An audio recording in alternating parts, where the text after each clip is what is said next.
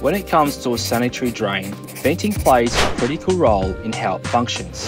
It is very important that the plumber knows where to position the upstream vents.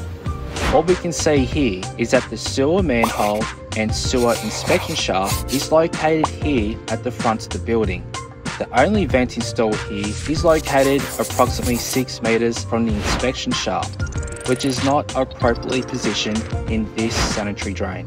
A drain must have a vent located at both ends of the drain if the drain incorporates a boundary trap, at the upstream end of the drain if the drain is in the boundary trap omitted area, at the upstream end of any branch drain that exceeds 10 metres from the vented drain to the rear of the trap. As a reminder that an air admittance valve cannot be used as an upstream vent. For more information, please see AS NZS 3500.2 clause 3.9 on venting of drains.